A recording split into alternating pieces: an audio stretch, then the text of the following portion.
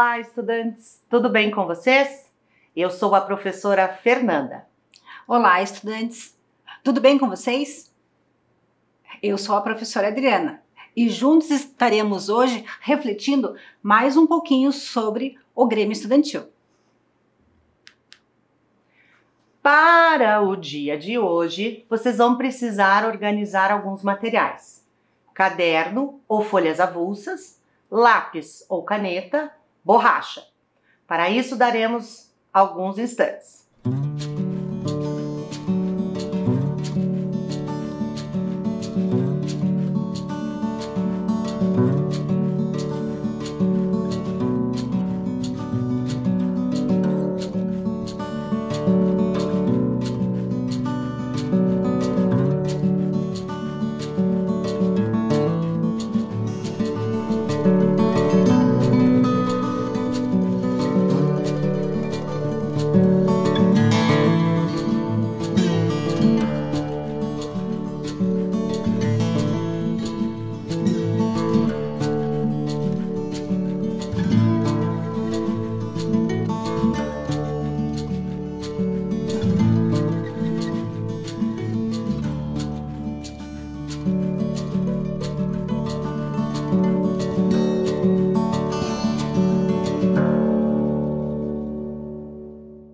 Tudo organizado?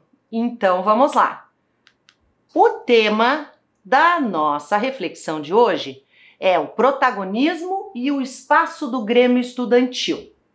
Para isso, também daremos algum tempinho para que vocês possam registrar a data também de hoje.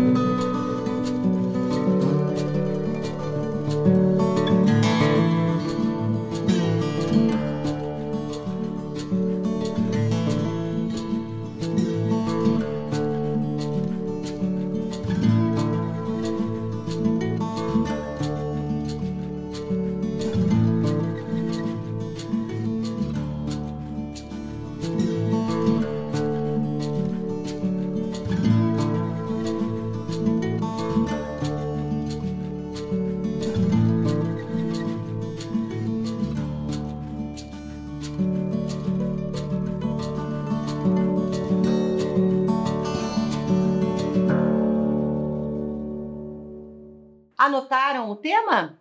Que ótimo! Então vamos lá. Antes de iniciarmos a nossa conversa sobre o protagonismo, o que leva o estudante a querer participar do Grêmio Estudantil? Então agora vamos assistir o vídeo da diretora Eliane Fanini Meduna. O aluno que participa do Grêmio Estudantil da escola é um aluno que tem muito mais autonomia e liberdade para discutir as questões que envolvem todos os estudantes.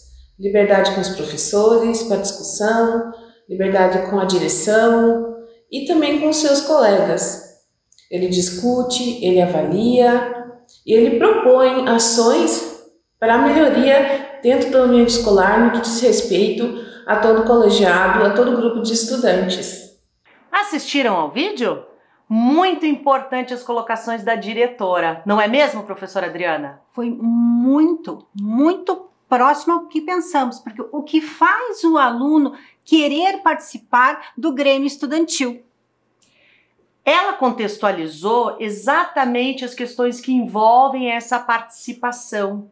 O desenvolvimento da autonomia, o desenvolvimento em querer, a vontade de participar, a vontade de fazer a diferença. E como isso faz com que os nossos estudantes desenvolvam muitas aprendizagens. Isso mesmo. E qual será uma delas, professora Adriana? Participação? Também. Autonomia? Também. Querer mudar as coisas? Com certeza. Mas Olhem lá, afinal, o que é protagonismo? O que é esse protagonismo? Participação? Será somente a participação? Não.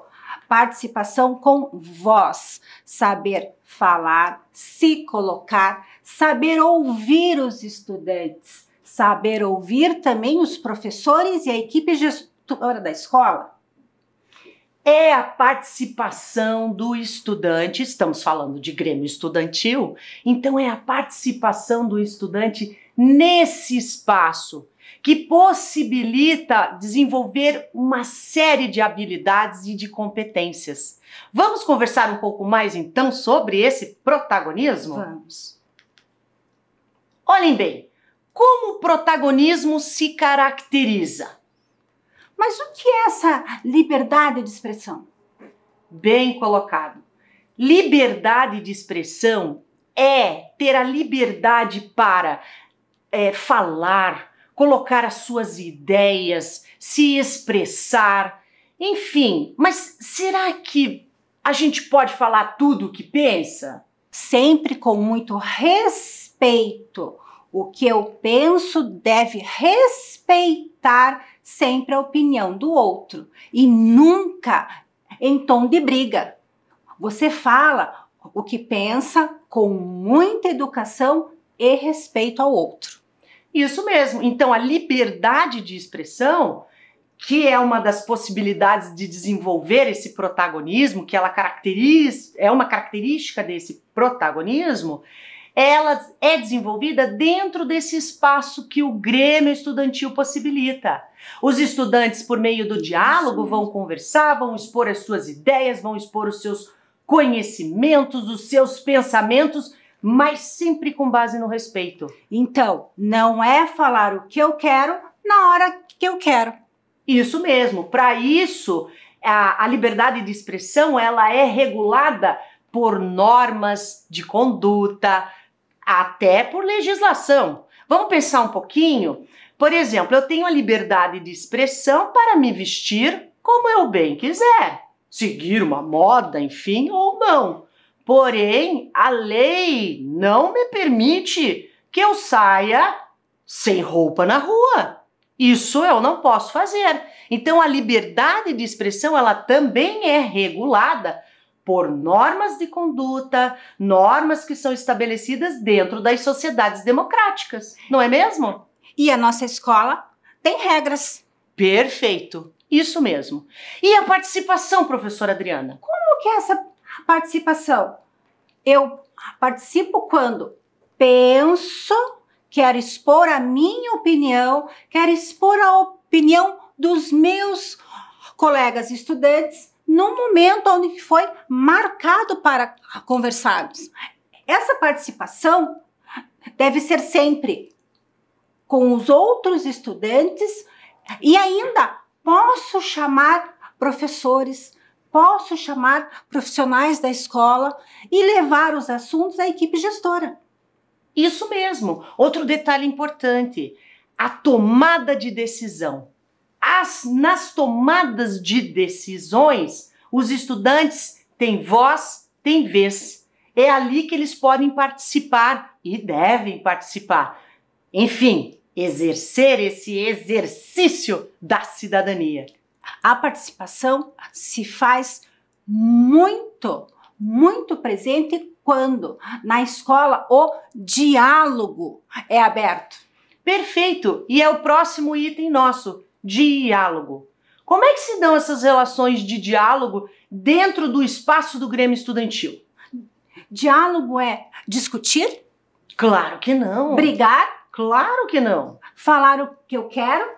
De jeito nenhum. Diálogo é conversar. É quando eu coloco a minha ideia frente à resolução de um problema. Isso mesmo. E outro detalhe: nessa relação de diálogo que os estudantes vão construindo, o respeito também é base. Ah, sim. Sempre, não é mesmo? Sempre devo respeitar a opinião do outro, mesmo que eu não concorde, mas devo ouvir para respeitar.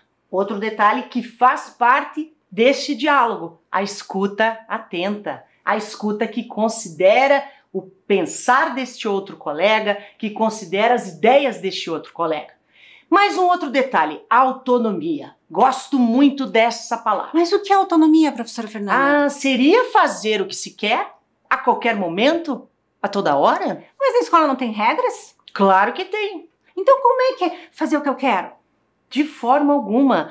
A autonomia os estudantes vão desenvolver dentro do espaço do Grêmio por meio de todas aquelas outras questões que já falamos, mas a autonomia é outro detalhe importante. Ela também é regulada por regras, por normas. Por exemplo, será que o estudante dentro da escola, naquele espaço, pode tomar a decisão, né, dentro do espaço do Grêmio, por simplesmente aquele grupo, por exemplo, do sétimo ano, tomam a decisão de que eles não farão mais as avaliações propostas pela escola. Não. não Mas pode. eles têm autonomia para fazer. Mas tem a regra. Exatamente. Tem a regra. Estão entendendo como são as relações? A autonomia não é fazer o que quer a qualquer tempo, não. Mas o, o, o, debate, o diálogo que o espaço do Grêmio possibilita, a autonomia para buscar soluções para resolver os problemas, quais são as ideias, quais são os conhecimentos, autonomia para buscar outros projetos, outras ações. E Essa com é a isso autonomia. eu vou dialogando. Diálogo, participação, autonomia. Mas para tudo isso, respeito. Perfeito.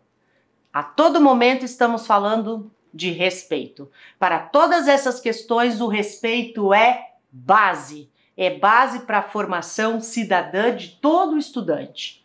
Vamos seguir mais um pouquinho. E essa responsabilidade? Importantíssima. O estudante que assume um cargo de representante dentro do Grêmio Estudantil tem uma responsabilidade imensa. Porque ele não pode fazer o que ele quer, ele representa a maioria, o desejo, a vontade dos outros estudantes. Então ele é responsável pelas ações dele e pelo grupo que ele representa? Perfeito. Ele tem uma responsabilidade perante a coletividade daqueles estudantes. Porque ele vai buscar soluções não apenas para a sua necessidade, para o seu interesse, mas para o grupo de estudantes que ele representa. Isso mesmo. Por isso, o cargo é de extrema responsabilidade. E isso gera comprometimento? Sem dúvida. Um estudante que utiliza o espaço do Grêmio para ser protagonista das suas ações, protagonista do seu conhecimento, precisa ser comprometido. Com comprometer-se a responsabilizar-se sobre as suas ações. Mas olha que responsabilidade, professora Fernanda. São muitas, são muitas. Pertencimento, outro detalhe, outra habilidade, conhecimento importante. Pertencimento. Pertencer. Mas a quê? Ao grupo, ao coletivo. E como é que eu me sinto pertencente? Quando eu me sinto representado, quando eu vejo nas ações que são propostas por aquele grupo, por aquele coletivo de estudantes, eu me sinto representado, eu me sinto considerado. É o sentimento de pertença àquele grupo. Ou seja, fazer parte?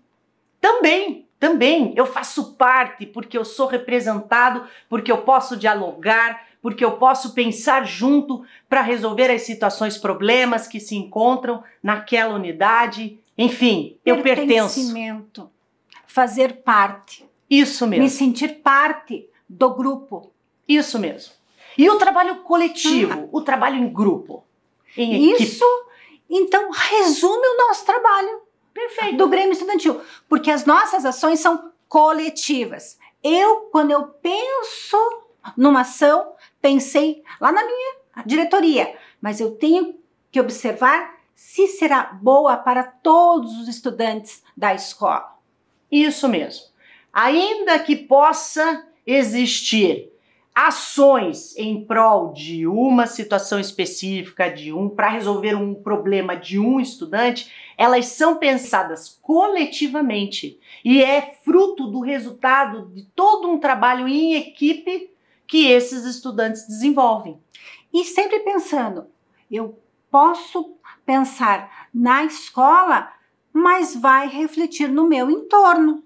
Certeza as questões, as propostas, as ações que o Grêmio desenvolve, elas sempre, sempre consideram a realidade, os problemas, as situações que eles pretendem mudar, modificar, enfim, em prol do quê?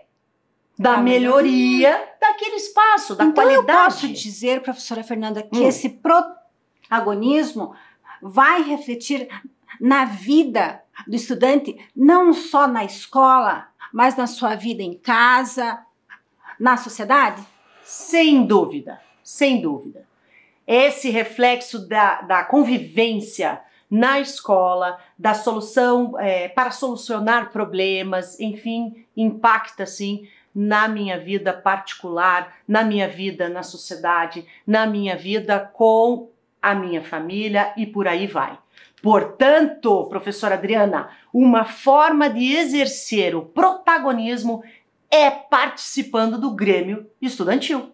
Porque o Grêmio Estudantil é um local de voz e vez. Perfeito, isso mesmo.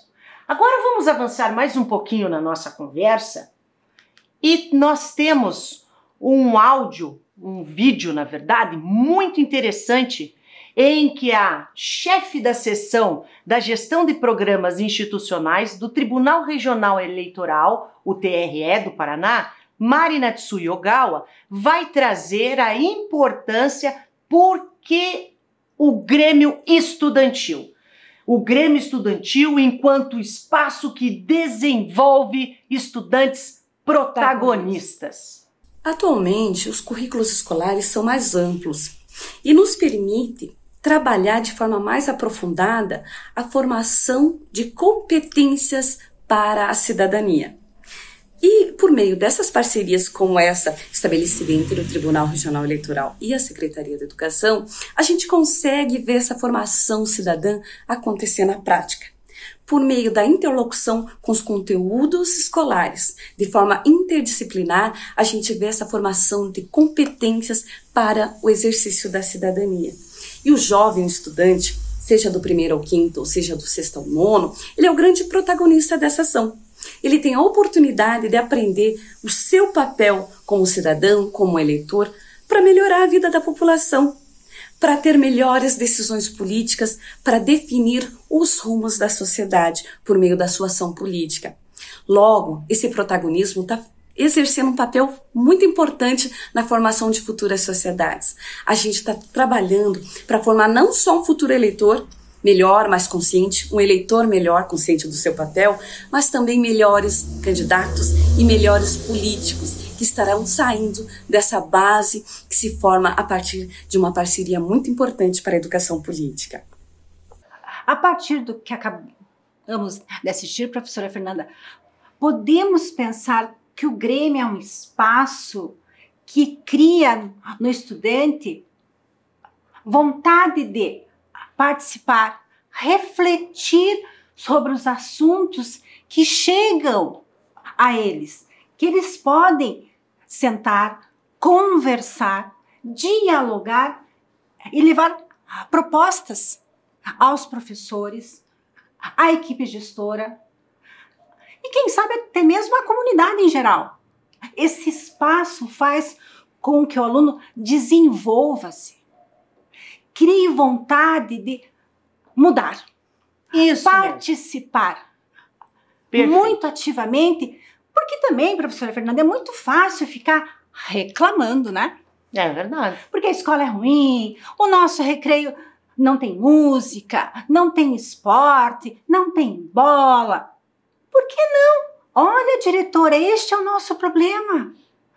Quem sabe podemos fazer uma roda de conversa, uma roda literária, fazer um jogo esportivo.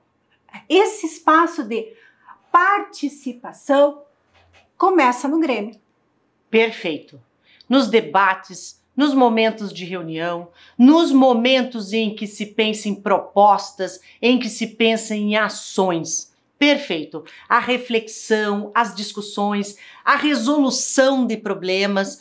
A Mário Gawa trouxe exatamente isso, essa possibilidade de refletir, de vivenciar esse espaço que é um espaço de vocês, que é o espaço para o exercício da cidadania, para a prática democrática. E vejam bem como isso vai interferir quando vocês adultos forem. Eu posso falar então que é a minha primeira experiência política? Perfeito!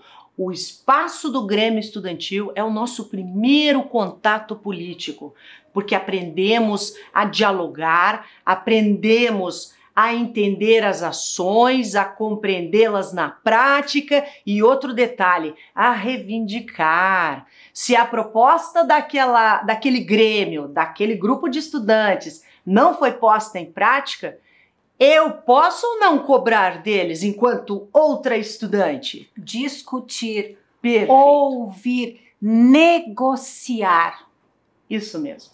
É um espaço riquíssimo para todas essas aprendizagens. Porque onde é o estudante vai criar toda uma estrutura, todo um pensamento e vai se tornar um protagonista. Perfeito. Protagonista da sua ação, protagonista do seu pensamento, é o estudante que busca, que vai atrás e, consequentemente, não vai poder se tornar um estudante alienado, que não busca soluções, que não estuda, que não se importa com os problemas dos outros. Muito pelo contrário, é nesse espaço de participação que o Grêmio Estudantil possibilita esse desenvolvimento, esse protagonismo, esta vontade de querer fazer, de fazer a diferença, de exercer a sua cidadania. Então, no Grêmio Estudantil se faz o protagonismo acontecer. Perfeito. Olhem outro detalhe. Que tal conhecermos momentos de protagonismo estudantil na escola? Ótimo! Já temos experiências lá nas nossas escolas. Isso mesmo. Vamos caminhar um pouquinho então para conhecermos. Olhem conosco ações de conscientização, Outubro Rosa e Novembro Azul. Aqui, a escola Erlei Mel, representada pelo Grêmio da sua escola, por esses estudantes, inspiraram-se nas ações do Outubro Rosa e do Novembro Azul e os estudantes é, organizaram momentos de palestras justamente para conscientização, a importância de ações conscientizadoras. Do que eu ouvi falar, eu trago para a escola para conversarmos, para melhorar a informação que temos. Isso mesmo, as questões em relação ao conhecimento. E por falar nisso, vocês sabem o que é o Outubro Rosa? E o Novembro Azul? costuma sair na mídia, é uma campanha muito grande de prevenção. É ou não é verdade? De, sobre o câncer. Enfim, esses debates, essas questões que estão postas na sociedade são trazidas para o interior do Grêmio, para um espaço em que é possível desenvolver o que mesmo, professora Adriana? O protagonismo. O protagonismo, ser autor da sua ação, da sua prática, do seu conhecimento. Então vamos mais um. Parcerias dentro da escola. A Feira do Livro. O que, que aconteceu nessa parceria, professora Adriana? O que, que a escola fez? A escola teve a ideia, precisamos incentivar, ler mais. Mas para que eu meu estudante leia mais, eu tenho que disponibilizar livros. O que foi feito para incentivar a leitura na escola?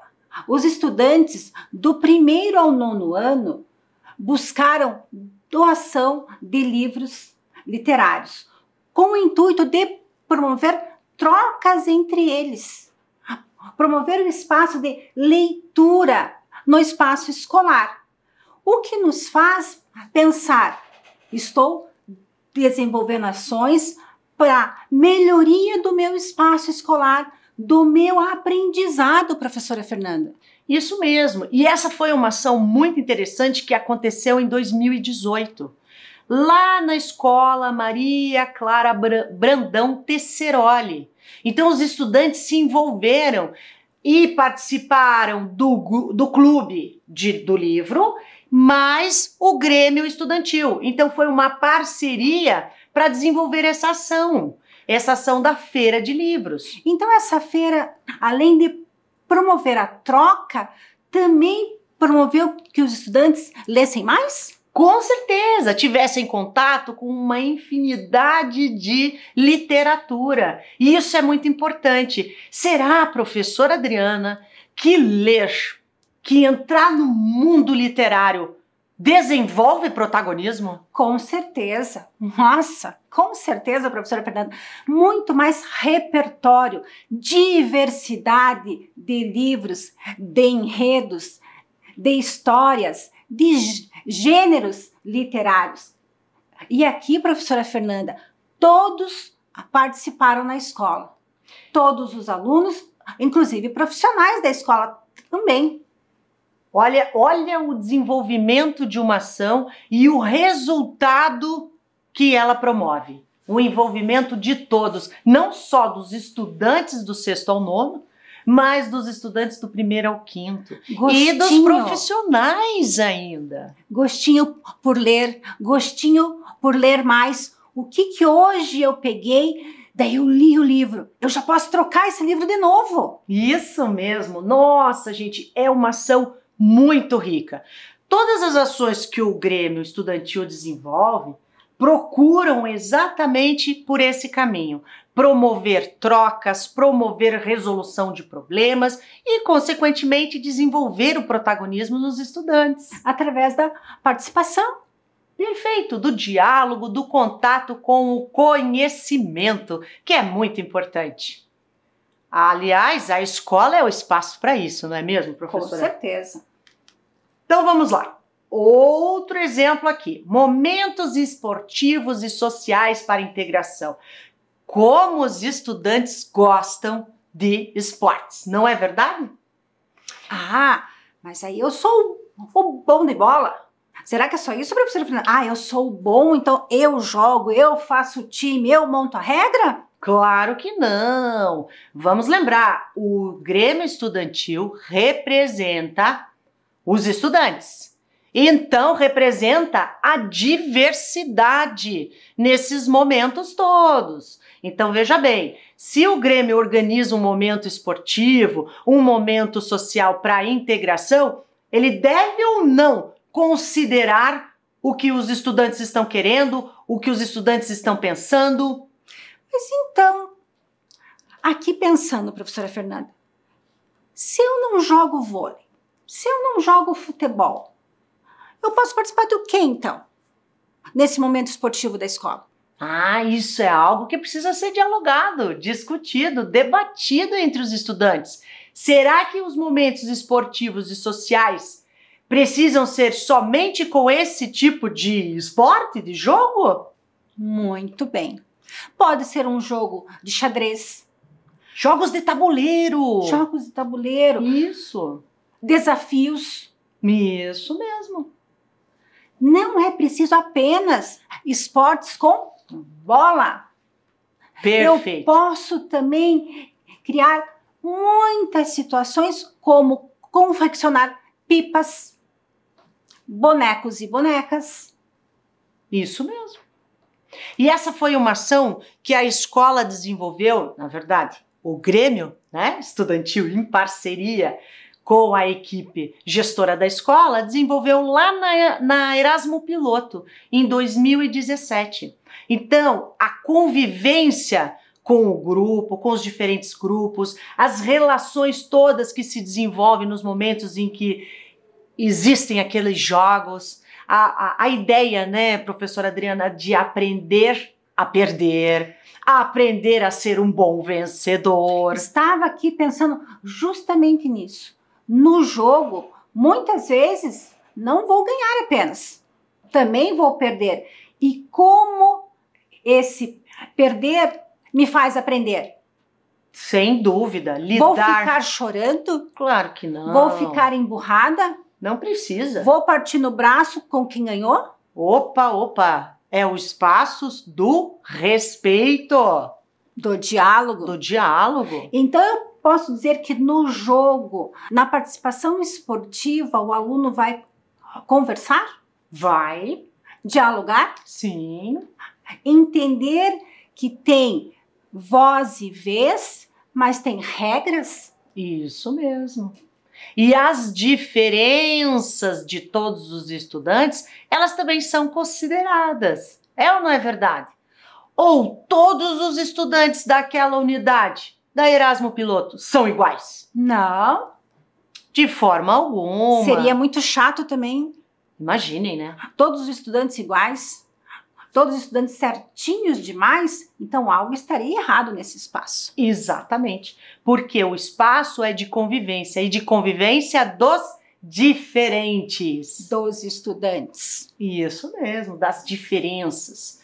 E até nesses momentos esportivos e sociais, se, se tivermos estudantes que fazem uso de cadeira de roda, por exemplo, eles precisam ser considerados ou eles não vão participar. Porque esse é um espaço de diversidade, pluralidade. Então, na minha ação, eu tenho que pensar em todos e em cada um. O que aquele aluno precisa para participar também? Isso mesmo. Então vamos avançar mais um pouquinho. Divulgação de notícias e informações junto à escola. Outra função, outra ação que o Grêmio desenvolve e que é muito, muito importante. Então, como que o Grêmio pensa, esse grupo de estudantes pensa em divulgar as suas ações? em divulgar as suas propostas, em divulgar os seus resultados das ações. Porque cabe ao Grêmio divulgar o seu planejamento e todas as ações que ele vem fazendo. E sempre com uma informação correta, precisa, verdadeira. Isso mesmo. Então, existe a Rádio Escola. Vocês, na escola de vocês, vocês têm uma rádio escola? Jornalista Mirim. Vocês têm jornalista Mirim? Olha como esses dois são muito importantes. Esses projetos ajudam o Grêmio a divulgarem as suas ações. Perfeito. A Rádio Escola, além de auxiliar nessa divulgação das ações, das informações, olha o quanto de protagonismo ela desenvolve em seus estudantes. Será que falar na rádio da escola pode ser um momento para se falar qualquer coisa? Não, tudo é planejado. Tudo, Tudo deve é pesquisado. pensado também, tudo é pensado. E precisa atender o que mesmo? As necessidades daqueles estudantes. Qual é o objetivo daquela fala na, na rádio escola, por exemplo? Vão divulgar alguma ação? De repente, um concurso de poesia? Uma feira, uma apresentação de teatro, Um convite? uma roda de conversa. Então, são todas ações que precisam ser planejadas no momento em que se utilizar essa rádio escola. E o jornalista Mirim? Da mesma forma, quais são as perguntas que esse jornalista vai fazer? Para o meu entrevistado? Exatamente. Será que isso não deve ser planejado? Que parceiros, Exato. que parceiros para o Grêmio. Porque é nesta hora que eu vou buscar parcerias para divulgar nosso trabalho enquanto Grêmio Estudantil. Isso mesmo. E foi exatamente isso que as nossas escolas, algumas das nossas escolas que possuem o Grêmio, estão fazendo. E como isso desenvolve o que mesmo, professora Adriana? O protagonismo. Perfeito. Toda essa relação com o diálogo, com a resolução de problemas, com a busca do conhecimento para resolver esses problemas, a busca de estratégias, essa consideração, o respeito, com a liberdade de poder expressar o que se conhece, o que se acredita, no que se pensa, não é verdade? Tudo isso com muito respeito. Perfeito. E isso é protagonismo. Então, agora chegou aquela hora. A hora em que você vai anotar o que refletiu. Isso mesmo, diante de tudo que nós conversamos até agora, o que você tem para nos dizer? E vai nos dizer por meio da sua escrita, hein? Olha lá, agora é a sua vez, estudante. Anote no seu caderno o que define um estudante protagonista? Quantas coisas aqui falamos. E quanta responsabilidade com essa anotação, hein? E quanta coisa você também acha que está pensando. Isso mesmo. E a outra questão, professora Adriana: o que você quer melhorar na sua escola?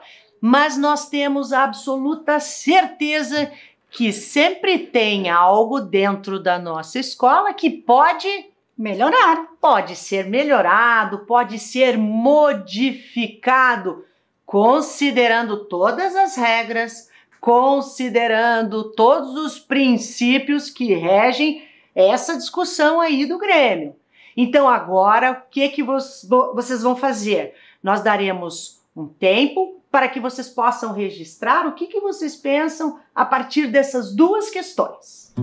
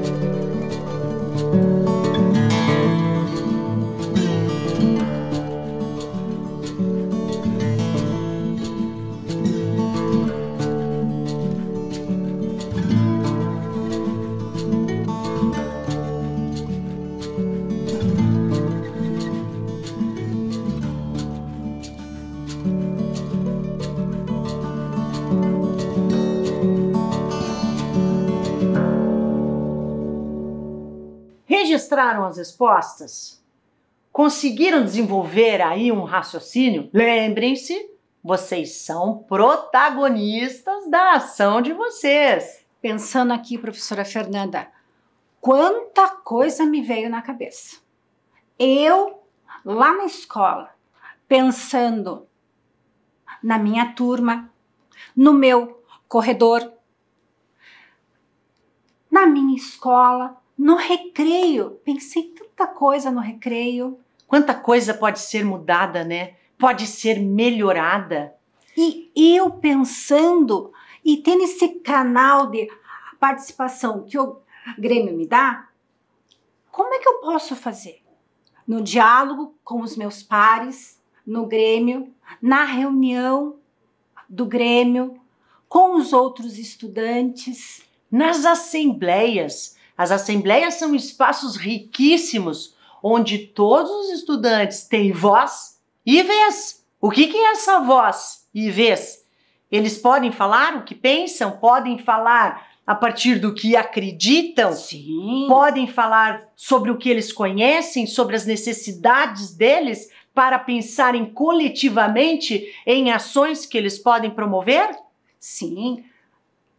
Pensando que vi uma necessidade. O que, que eu posso fazer para que isso acabe? Para que isso melhore?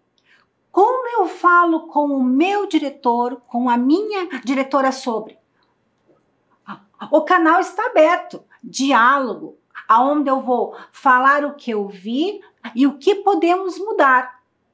Só que quando eu represento o meu grupo, eu represento a escola. Isso mesmo. E aí, esse argumento que o estudante vai utilizar, ele precisa ser muito bem pensado, muito bem construído, porque ele representa aquele coletivo de estudantes. Então, olhem só. A inspiração para uma ação protagonista nasce da vontade de mudança. A possibilidade de mudança da realidade nasce com a sua ação. Professora, vamos agir? Vamos agir então, estudantes. Estudantes, sejam protagonistas das ações de vocês mesmos. Isso mesmo. Continuamos as nossas reflexões. Continuem Seja. daí e até a próxima. Até a próxima.